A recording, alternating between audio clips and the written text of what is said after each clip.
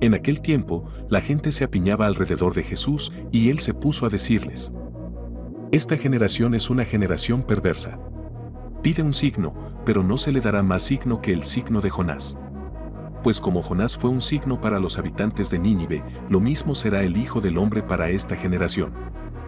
La reina del sur se levantará en el juicio contra los hombres de esta generación y hará que los condenen, porque ella vino desde los confines de la tierra para escuchar la sabiduría de Salomón, y aquí hay uno que es más que Salomón.